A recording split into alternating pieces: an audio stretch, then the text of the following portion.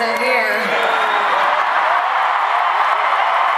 I was asking somebody about it. I said, is it legal to smoke here? And they said, no, it's just generally overlooked. I thought, how fabulous. There's a whole bunch of people in, in uh, you know, the United States who are stuck in jail for like the rest of their lives for smoking weed. Very proud of you, Vancouver.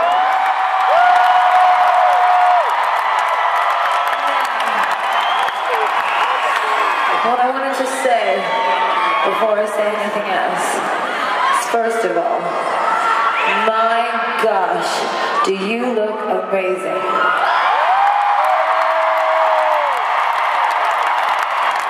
I always try to explain it to people because they're like, so, at the show, is everybody just like wearing lightning bolts on their faces and meat dresses? And I say, you know, they are.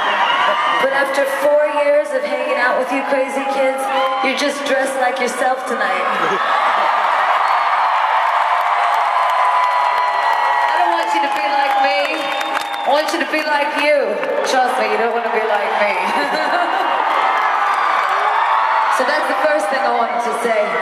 But then what I wanted to say to you is, five years ago, I was a waitress. Was a bartender. I was a coat room girl. I used to put rich people's coats away for them and they'd give me like two dollars. And then I realized I could make money a lot quicker taking my clothes off, so I quit bartending. And now, and now I am the highest paid stripper in the world.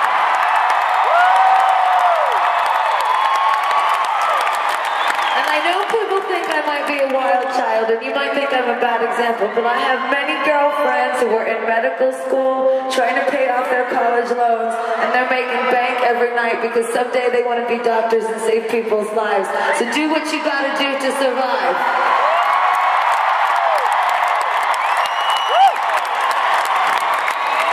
Who has work tomorrow? You do?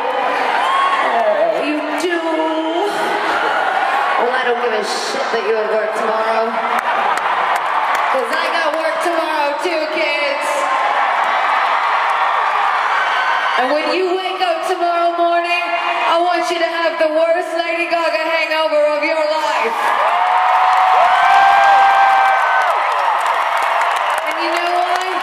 Because you deserve it.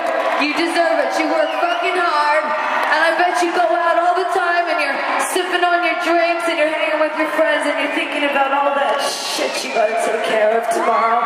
Fuck it. Tonight's about you. Get a drink, grab a smoke.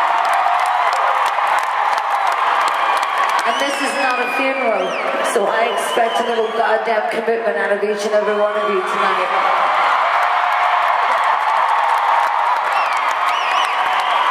I will sing live and play musical instruments live for you for the next two hours. And if you ever need me again,